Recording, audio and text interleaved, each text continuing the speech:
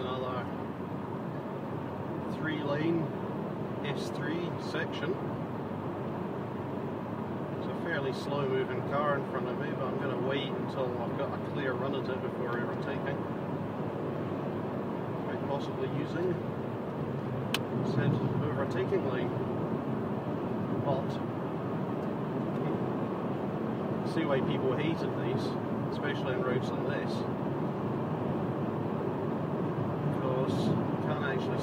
someone's doing something on the other side.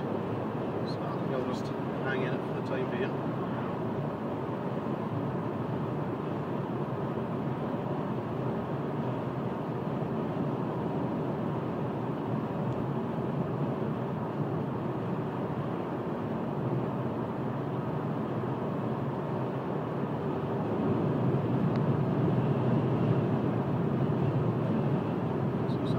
summit.